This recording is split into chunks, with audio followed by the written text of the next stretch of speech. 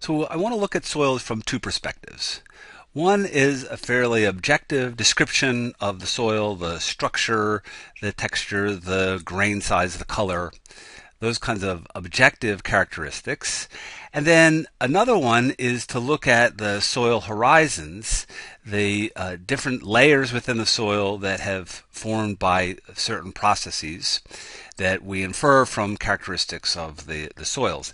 And what's shown here with this uh, prism of soil is a uh, is a, a typical uh, layered structure showing the main horizons that occur uh, in at least in a, in a typical soil uh, horizon. Uh, this is not does this not mean that these horizons are present in every soil? By no means is that true, but this is the typical assemblage, and it starts with an O horizon uh, up at the ground surface, and the O horizon is dominated by organic material, um, vegetation, um, decaying organic material, that sort of thing, and then as you go downward uh, the fraction of organic material decreases and the fraction of mineral material increases. So in this upper section here, we've got a mixture of organic and mineral material with the, the upper part of that being predominantly organic material and the lower part of it being predominantly mineral material. But there's still a good bit of mineral and organic material uh, in these two layers. And as you go down, you get to the E horizon, and this is this is dominated by um, a process called eluviation.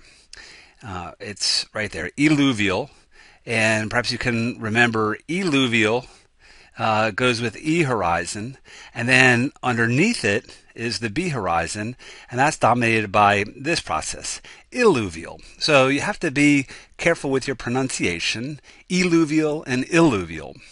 And what these two processes, or what these two words mean, uh, they're referring to the process of the transport of clays. So illuvial means that the clay minerals have been transported downward, and so the area has been leached of clays um, clays have been transported out. And so what's left behind then are the, res- the relatively resistant materials uh, like quartz, uh, and uh, they're typically sand to silt sized particles of quartz or, or other um, materials that are resistant to, to weathering. And then the clays are removed from the E horizon. They move, they're moved downward and they're accumulated in the B horizon. So the process of the eluvial process, or the IL UVIAL IAL uh, process, is the process of the accumulation of clays.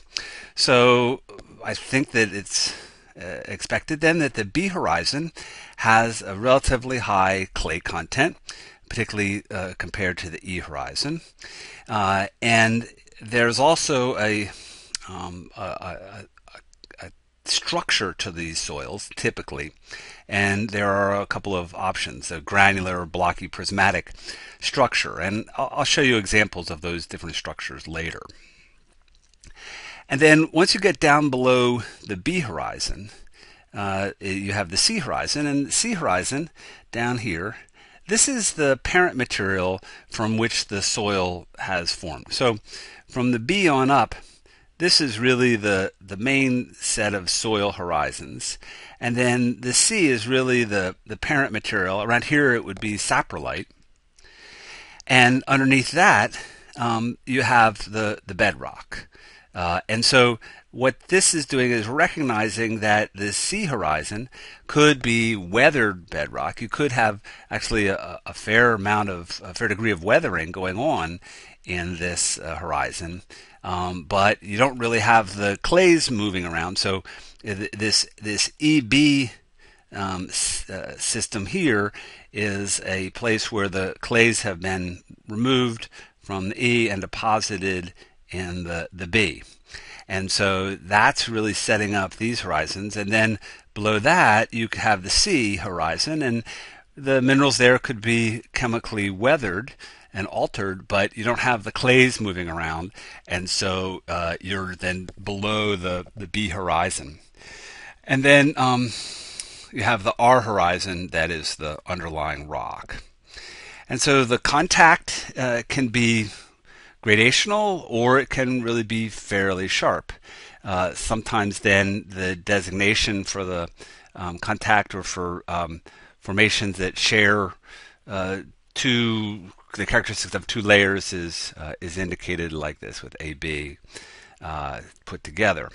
Now, also what's what's common in some soils is a layer where there are um, other min- minerals that have been deposited, and uh, carbonate is one. Uh, these are called fragipans, and um, caliche, for example, is uh, a fairly common uh, fragipan that is uh, calcium carbonate precipitated out, where it's it's leached out from the rocks above uh, in the soil forming process, and then precipitated as a layer or as nodules in the underlying soils.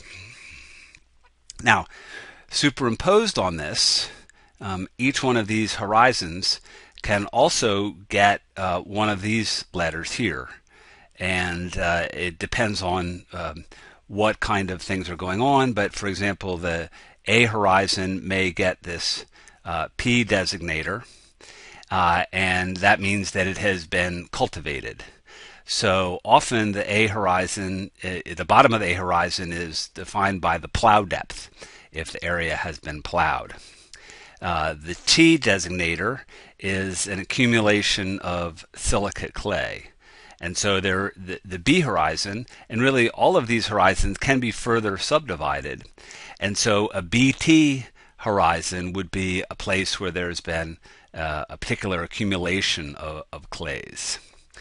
And then uh, the G uh, designator, this is a strong gleying, it's called.